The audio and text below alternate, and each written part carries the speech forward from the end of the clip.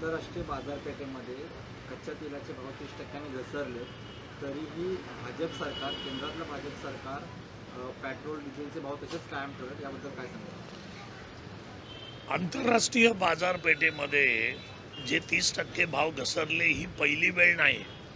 याच्या अगोदरही crude ऑइलचं barrel हे जवळजवळ चाळीस डॉलरपर्यंत आलं होतं. एकशे वीस डॉलरवरून. तरीही मोदी सरकारने दोन हजार चौदा नंतर आल्यानंतर तेलाचे भाव आणि पेट्रोल डिझेलचे भाव अजिबात कमी केलेले नाहीत. त्याच्या रोडा घालण्याचं काम मोदी सरकारने दोन हजार चौदा नंतर सुरूच ठेवलेलं आहे.